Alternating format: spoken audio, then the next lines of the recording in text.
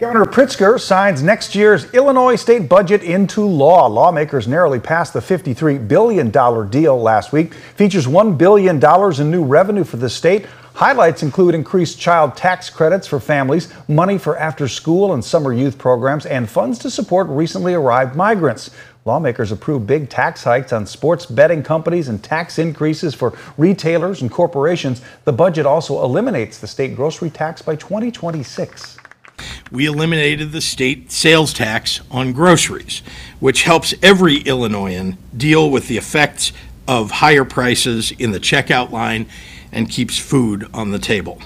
Our tax cuts, debt reductions, grants, and scholarships are providing breathing room and support when people are feeling the pinch of inflation. The Illinois House GOP caucus criticized the budget for passing both chambers in the middle of the night with no Republican support.